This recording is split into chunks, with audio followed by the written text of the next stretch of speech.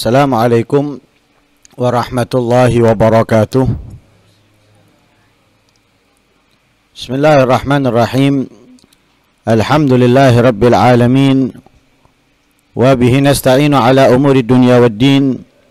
والصلاة والسلام على سيد الأنبياء والمرسلين سيدنا ومولانا محمد صلى الله عليه wa ala alihi wa sahbihi wa sallama ajmain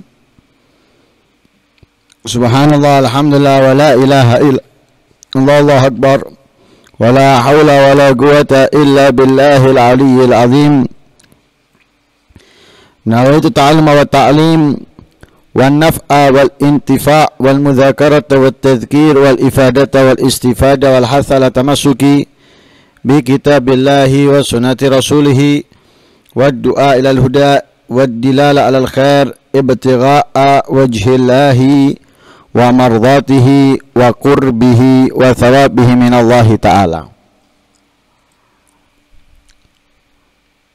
Setelah kita membahas tentang asbabut tayamum sebab-sebab yang dikarenanya diperbolehkan tayamum dan juga yang kedua membahas tentang syurutut tayamum syarat-syarat sahnya tayamum dan di pertemuan yang lalu kita membahas tentang furudut tayamum. Fardu-fardunya tayamum. Sebelum memasuki pembahasan yang membatalkan tayamum, kita bahas terlebih dahulu kesunahan-kesunahan tayamum. Kesunahan-kesunahan tayamum sebagian menghitungnya yang secara khusus lima.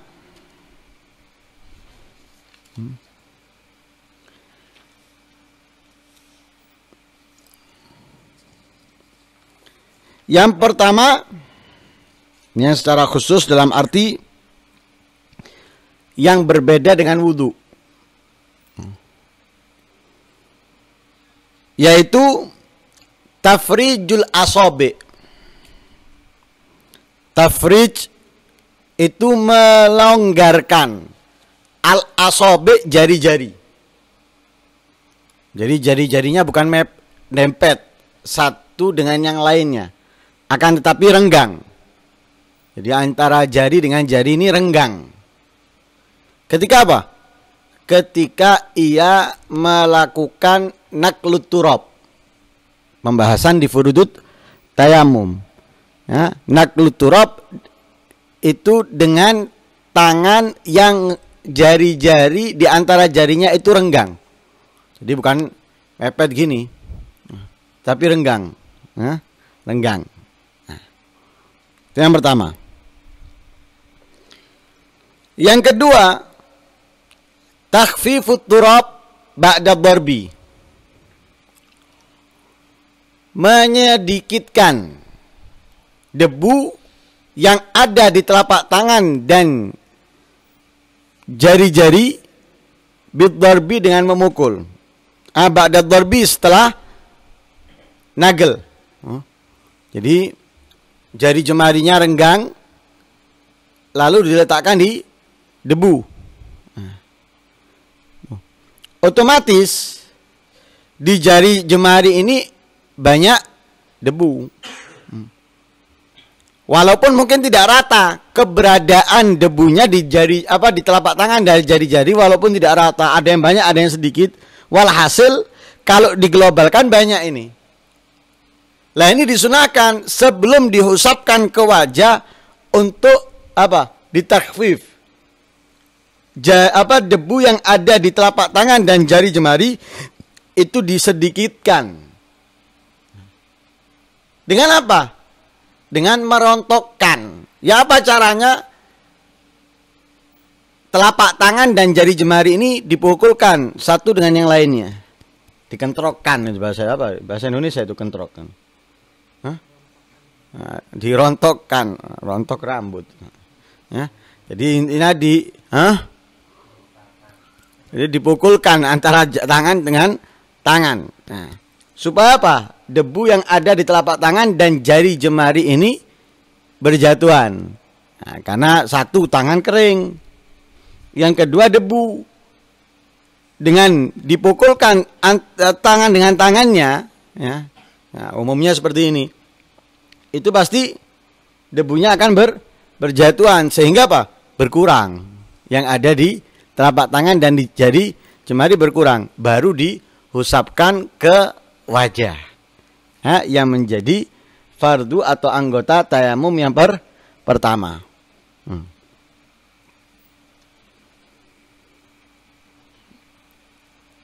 Yang ketiga, Allah yarfa ayadahu anil udwi hatta yutimma mashahu. Tidak mengangkat tangannya dari anggota yang dihusap sehingga sempurna usap debu.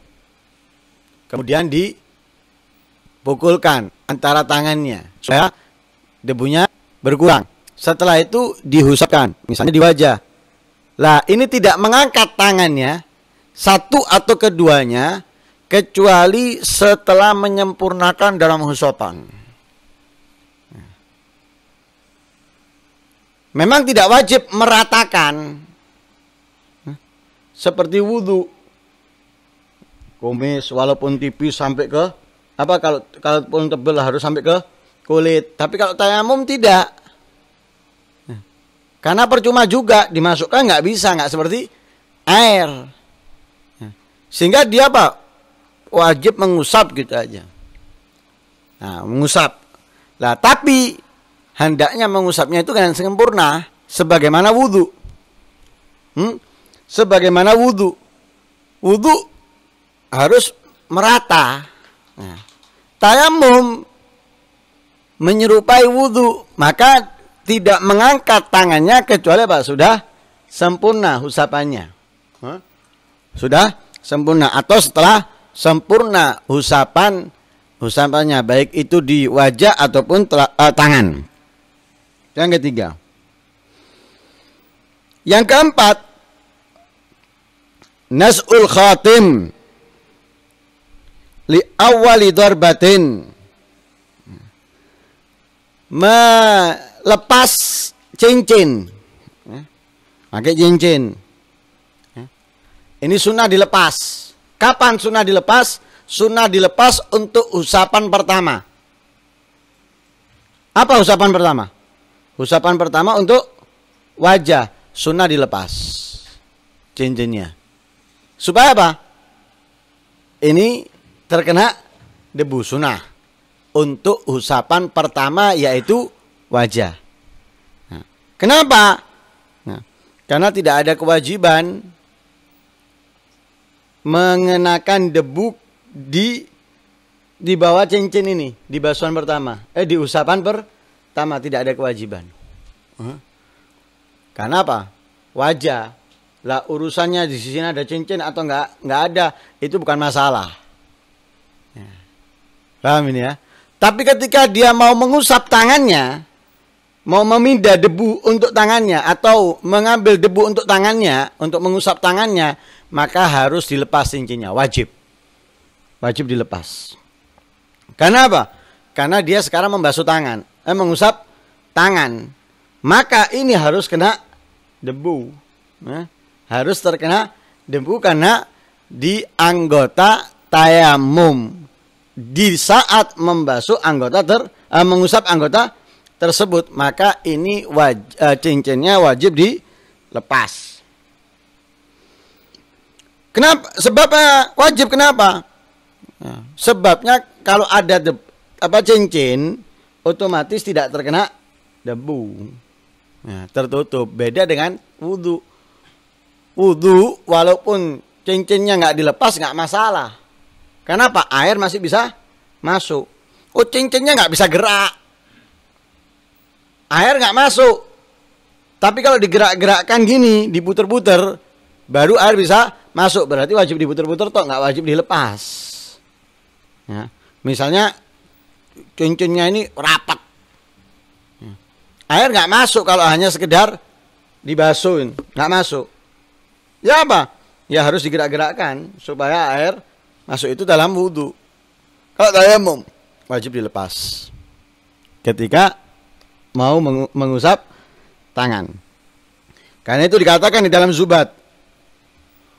Wanas khatimin liula tudrabu amma lithani darbatin fayajibu. Melepas cincin untuk basuhan pertama ya, itu sunnah. Adapun untuk basuhan yang kedua wajib. Hmm. Yang keempat. Yang kelima, Allah yamsahat turaba an a'dha'i tayammum hatta yafrugha minas salati. Tidak mengusap debu dari anggota tayamum sehingga selesai dari melaksanakan sholat. Setelah tayamum, berarti di wajah kita dan di tangan kita itu ada debu. Nah ini disunahkan biarkan debu yang ada di wajah dan tangan. Sampai kapan? Sampai setelah sholat. Seperti ketika kita sholat. Ketika kita sholat, sujud. Lah karpet musola atau masjid tersebut nggak pernah ada yang nyapu, nggak pernah ada yang bersih. Sehingga, masya Allah, debu atau tanah yang kecil-kecil itu banyak. Sehingga ketika sujud nempel sini. Nah, itu disunahkan apa? Biarkan makro kalau kita hilangkan di saat sholat. Setelah salam baru. Nah, setelah salam sama dengan wudhu ketika kita wudhu selesai wudhu ini basuh kita andui makro kecuali sakit. Dia kedinginan. Di musim dingin misalnya. Lah dihilangkan airnya karena ada sebab. Kalau nggak ada, makro.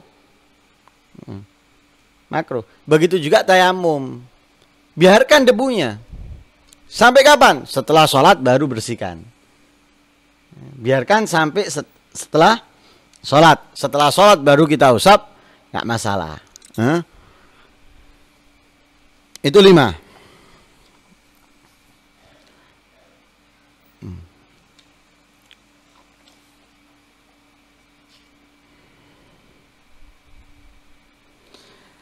Ah, dari yang disebutkan tadi itu ada tambahan dari kitab lain yang tidak disebutkan di dalam kitab ini yaitu apa?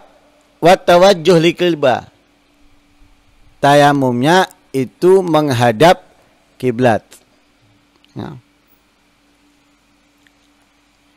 Secara uh, global membahas tentang menghadap kiblat ini semua kesunahan wudhu itu disunahkan dalam tayamum. Semua kesunahan wudhu disunahkan dalam tayamum kecuali at-taslis mengusap tiga kali. Hmm. Mengusap tiga kali nggak ada dalam tayamum. Nggak perlu tiga kali usapan untuk wajah. Kalau wudhu kan sunnah tiga kali. Hmm. Tapi kalau tayamum nggak sunnah tiga kali. Satu kali itu sudah wajib dan wajib. Sunnahnya nggak apa tidak sunnah me, mengulangi. Loh, tadi ada yang belum kena. Ya wis, itu wajibnya cuma sekali dalam tayamum. Beda dengan wudhu. Jadi semua kesunahan wudhu itu disunahkan dalam tayamum kecuali atas lis. Nah, kecuali eh, membasuh tiga, mengusap tiga, tiga kali. Nah, nah, nah ini yang ini yang yang terakhir tadi yang ada kesamaan antara wudhu kesunahan wudhu dengan kesunahan tayamum. Ya. Tapi yang disebutkan sebelumnya hanya kesunahan yang ber, yang ada untuk tayamum tidak untuk wudhu. Tapi perbedaannya gini. Orang yang tayamum untuk janabat. Orang yang tayamum untuk janabah. Disunahkan membaca bismillah. Ketika kita mau mengusap tangan dengan air dalam wudhu. Atau ketika mau naklut turab, itu disunahkan kita membaca bismillah. Lah orang junub ya apa? Sedangkan bismillah itu adalah salah satu ayat daripada Al-Qur'an. Bagaimana? Diniatkan zikir. Jadi untuk orang yang janabat meniatkan dengan membaca bismillahnya zikir. Hmm. Kemudian disunahkan juga memakai siwak sebelumnya. Setelah basmalah. Setelah membaca bismillah disunahkan memakai siwak seperti dalam wudhu. Ya. Lah, memakai siwaknya kapan? Kalau dalam wudhu ada perbedaan antara Imam Ibnu Hajar dan Imam Romli. Ada yang mengatakan disunahkan memakai siwak itu sebelum membasuh kedua telapak tangan. Ada yang mensunahkan setelah membasuh kedua telapak uh, setelah membasuh kedua telapak tangan. Ya. Setelah membasuh kedua telapak tangan. Tapi kalau dalam tayamum disebutkan di sini gablan nakli. Jadi sebelum naklut turab. Nah, sebelum naklut turab, sebelum memindah turab dari tempat ke anggota tayamum. Dan juga sebelum bismillah. Jadi sebelum bismillah membaca, memakai siwak bismillah. Kemudian naklut turab. Nah. Nah, ini daripada kesunahan-kesunahan tayamum menjadi pelengkap dari pembahasan furudut tayamum. Nah, dan insya Allah di pertemuan akan datang kita membahas tentang mubtilatut tayamum hal-hal yang membatalkan tayamum. Mudah-mudahan apa yang kita pelajari daripada kesunahan tayamum ini menambah uh, wawasan ilmu pengetahuan kita dalam ilmu agama dan dengannya mudah-mudahan bertambah dekat diri kita dengan Allah dan Rasulnya. Amin. Allahumma amin. Sallallahu alaihi wasallam Muhammadin nabiyil ummi wa alhamdulillahi rabbil alamin.